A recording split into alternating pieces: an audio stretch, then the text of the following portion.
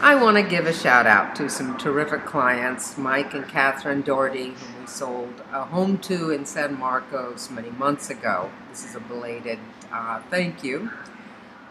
These notes absolutely make the day, and I was cleaning my desk and ran across it. Dear Mike and Roberta, we want to extend our appreciation for all that you did to assist us in buying our San Marcos home. You helped to make it as seamless as possible. Also, thank you so much for the wonderful gift. It's a work of art. Most sincerely, Mike and Catherine Doherty. Mike and Catherine, thank you.